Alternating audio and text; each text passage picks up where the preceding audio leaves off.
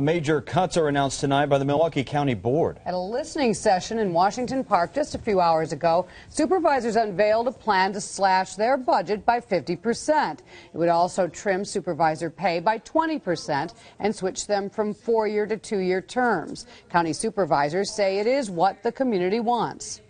It's not about me. It's not about the supervisors. It's about the million people in Milwaukee County. And they've been pretty clear in the message that they don't want Madison mandating changes. They want to decide what their government looks like.